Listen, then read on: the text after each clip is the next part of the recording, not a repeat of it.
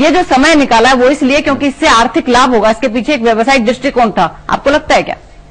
हाँ। नहीं, बिल्कुल व्यवसायिक दृष्टिकोण है। इस समय इन चीज़ों के बहुत बड़ा बाज़ार है। लेकिन क्या सिर्फ़ बाज़ार के आधार पर हम प्राइम मिनिस्टर के ऑफ़िस की इंटीग्रिटी को सही या गलत? मैं ये मानने के लिए तैयार हूँ कि इसमें सब चीज़ें हो सकता है, सही हो। लेकिन वो कब देश के सामने और आम जनता के सामने आनी चाहिए, एक म्याद तय किया जाना ज़रूरी है। और हम कॉमर्स को एक लेवल के बियॉन्ड बहुत ज़्यादा तवज्जो नहीं दे सकते। क्या ऐसी हिंदुस्तान चीज़ें डोमेन के की सियासत के सच के संदर्भ में सोचा जा सकता है कि इस तरह की कोई मियाद यहाँ तय हो सकती है। यहाँ तो न जाने कब की बातें कब उखाड़ दी जाती हैं। इस पर मुनहसर है कि क्या उससे उस समय कोई फ़ायदा होता है? मनमोहन सिंह लेकिन क्या कमज़ोर पीएम रहे? ये बात कई बार कही गई। इन किताबों के आने के बाद क्या उसमें कोई एक नया पर्सपेक्टिव जुड़ा है? लोग ये कहते हैं। कमज़ोर नहीं मजबूर हैं वो। हाँ लगता है मुझे तो ऐसा। बिल्कुल बिल्कुल दस साल उन्होंने कठपुतली की तरह काम किया कांग्रेस में गांधी परिवार छोड़ के जो भी है कमज़ोरी है। हमारे नज़र में तो कमज़ोर प्रधानमंत्री है। हाँ एग्जैक्टली कमज़ोर प्रधानमंत्री है। नहीं मनमोहन सिंह जो है हिंदुस्तान के सबसे मज़बूत प्रधानमंत्री है। उनके जो देखरेख में जितने भी आज तक काम हुए हैं सब अच्छे काम हुए हैं। चलिए। अलग अलग राय जनता की लेकिन हम थोड़ा 10 साल पीछे चलते हैं। 2004 की बात करते हैं और वो लम्हा आप याद कीजिए जब सोनिया गांधी ने प्रधानमंत्री जैसे पद को ठुकरा दिया था और इस लम्हे ने सोनिया गांधी को लेकर लोगों की सोच को बदल कर रख दिया था। लेकिन क्या पीएम नहीं बनना सोनिया का त्याग था? इस सेगमेंट में इस पर चर्चा करेंगे लेकिन पहले ये रिपोर्ट दिखाते हैं आपको। 2004 में सोनिया गांधी के पीएम पद ठुकराने के बाद लोग उनमें मदर टेरेसा से लेकर न जाने त्याग के कितने रूप देखने लगे। सोनिया ने खुद इसे अंतरात्मा की आवाज़ कहा तो समर्थकों ने उन्हें तपस्या और त्याग की मिसाल करार दे दिया। मेरा लक्ष्य प्रधानमंत्री तक का दिन नहीं। मेरे मेरे सामने हमेशा स्पष्ट था कि अगर कभी ऐसी स्थिति पैदा हुई, जैसी आज तो मैं अपनी आत्मा की आवाज़ के मुताबिक चलूँगी। आज मेरी अंतरात्मा मुझसे कह रही है कि मैं विनम्रता के साथ ये पद स्वीकार करने से मना सकती लेकिन बारू के मुताबिक असल में इस कदम के पीछे कोई त्याग की भावना नहीं थी, बल्कि एक सियासी चाल थी। पीएम पद सोची समझी रणनीति के तहत ठुकराया गया था। सोनिया प्रधानमंत्री नहीं, बल्कि पीएम से भी ऊपर की सोच रही थी। इसीलिए न सिर्फ़ पीएमओ में सोनिया के पसंदीदा अधिकारियों की तैनाती की गई, बल्कि सारे बड़े फैसले भी 10 जनपद से होने लगे। बारू ने अपनी किताब में लिखा है कि सोनिया गांधी के कहने पर पुलक चैटर्जी को पीएमओ में शामिल किया गया।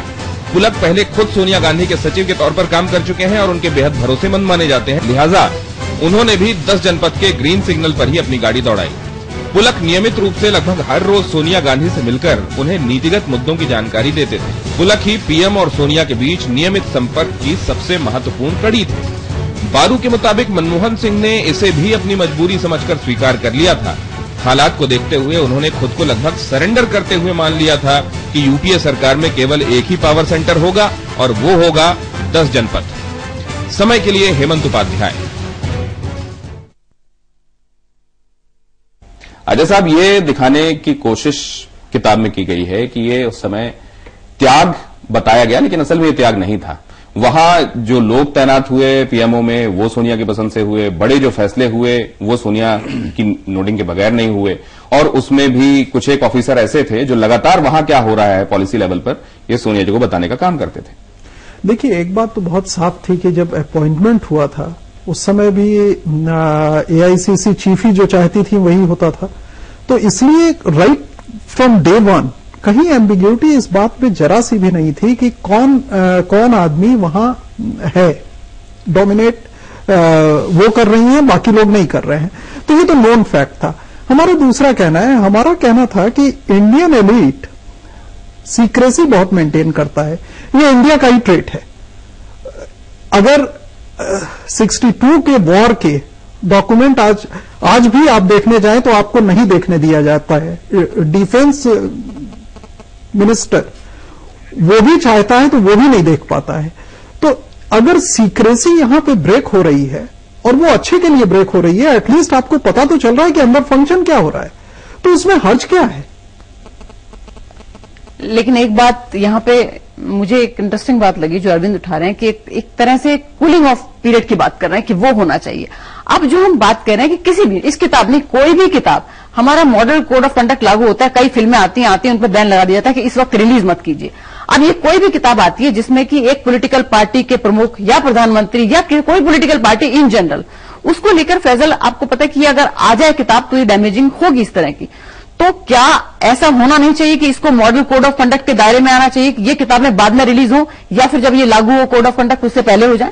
वो तो खैर शायद मुमकिन नहीं होगा मॉडल कोड ऑफ़ कंडक्ट लेकिन जो बात अरविंद ने कही कूलिंग ऑफ़ पीरियड की, इसकी बात हमेशा हुई है। जो हमारे ब्यूरोक्रेट्स हैं या आर्मी ऑफिसर्स हैं, उनके लिए हमेशा ये बात हो रही है, कम से कम दो साल का कूलिंग ऑफ़ पीरियड हो बिफोर वो जाकर के इलेक्शन लड़े। तो वैसे ही कुछ होना चाहिए जो इतने सेंसिटिव ऑफ़िस और इस तरह की चीज़ों में पीओमे में रहे। ज़ाहिर सी बात है कि ये जो नॉर्मल बात कर रहे हैं पॉलिटिकल गॉसिप की बात कर रहे हैं, उसके अलावा बहुत सारे सेंसिटिव इश्यूज़ होंगे नेशनल सिक्योरिटी से रिलेटेड मैटर्स होंगे। वो सारी चीज़ों को कहीं ना कहीं जो लोग हैं पीएमओ में, मुझे नहीं पता कि बारू कितने उसके ये थे लेकिन दूसरे जो लोग भी हैं और मान लीजिए कि पूरा चैटर्जी ही कल आकर के किताब लिखने लगे तो सारी सारी, सारी इन्फॉर्मेशन एकाएक आ जाए सबके सामने। मेरे ख्याल से ये इतना मुनासिब नहीं है और पूरी दुनिया में ये है कि जो क्लासिफाइड डॉक्यूमेंट्स है उनको डीक्लासिफाई करने की पीरियड्स तय है कि इतने दिन के बाद डी क्लासिफाई होंगे। तो वैसा होना चाहिए मेरे ख्याल से आइडियली लेकिन जो बात को लेकर हम लोग चर्चा कर रहे हैं कि जो कहा है बारू ने या पारक ने उसमें क्या सच्चाई है तो जो बात उन लोगों ने कही है वो कोई नई नहीं है। वो बिल्कुल पब्लिक डोमेन में था उसको सिर्फ़ इन लोगों ने एक बुक के फॉर्म में लाया है। इसमें सिर्फ़ अंतर इतना है कि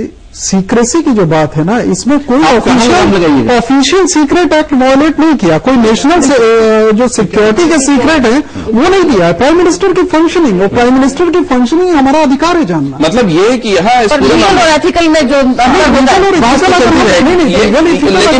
क्या ये कि ये लीगल है और एथिकल है या नहीं? इसकी ऑथेंटिसिटी कितनी मानी जाए? कूलिंग ऑफ़ होना चाहिए। क्या इसी तरह की चीज़ें इसमें डिस्कस होंगी जो हो रही हैं? या इससे वाकई फ़र्क भी पड़ता है और लोग इसमें कुछ नया भी देखेंगे। देखिए ऐसा है कि एथिक्स का जहाँ तक सवाल है जैसे सेल्फ सेंसरशिप होता है हम लोग बहुत सारे अपनी राइटिंग्स में भी सेल्फ सेंसरशिप करते हैं। और ये मीडिया रेगुलेशन की भी बात जब आती है तो हमेशा ये सेल्फ सेंसरशिप बहुत लोग करते हैं। पर फिर भी एक नीड है कि एक, कि एक रेगुलेशन एक फ्रेमवर्क होना चाहिए।